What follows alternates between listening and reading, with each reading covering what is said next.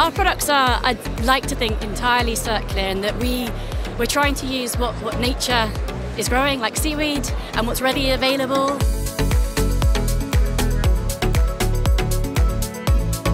Hi, Flora. Hello. In 30 seconds, what is Notpla? So uh, we at Notpla are trying to make packaging disappear, so we're not spoiling our precious planet. Uh, all of our products, uh, we use seaweed, which is a renewable energy resource. There's loads of it, and we're making packaging out of seaweed so that we don't have to use things like plastic.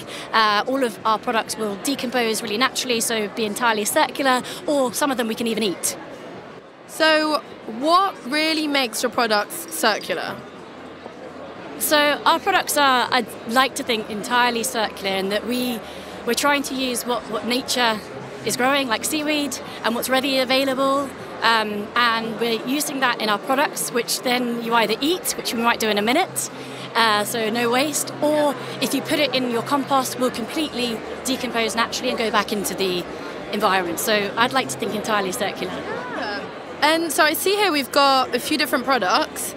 Is there one we can taste. So I love what the guy who just uh, on stage said recently, which was like, it's not about being an end consumer now, it's about being a participant. Yep. And I love that this product, which we call an Ooho, it's it's really like getting the consumer excited and, and involved in a product. Um, so we're going to try one, right? So, like, instead of having a plastic bottle in your hands for like three seconds, uh, like during a marathon or a festival, you just eat the whole thing with no waste. Okay, so I'm doing it. You doing it? Okay, I'm gonna. Do, okay, I'm doing it. Okay, here we go. Then I'm going to do it. So then you eat the membrane. So that's made of seaweed. It doesn't taste like seaweed. It doesn't smell of seaweed. And you can eat the whole thing.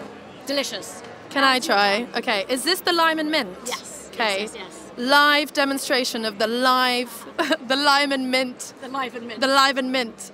Okay. A weird texture, I will say. It's like Marmite. Okay. Some people love it, this? some people hate it. Oh, I love Marmite. Okay, okay. you ready?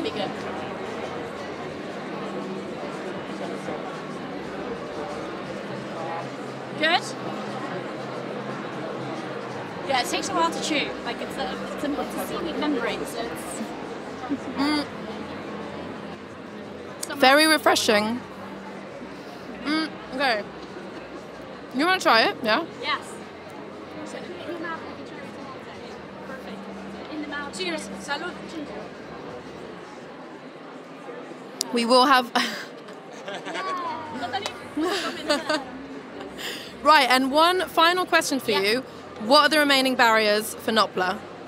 I with anything there's going to be barriers and things like again someone brilliant said earlier it's all about moving forwards i think for us it's getting big industry people to take a leap of faith with us that we can provide a good alternative to plastic um, and then showing that we can scale as well and, and having that faith so i'd say it's a barrier but also one that i think people are really like i think we can get by get over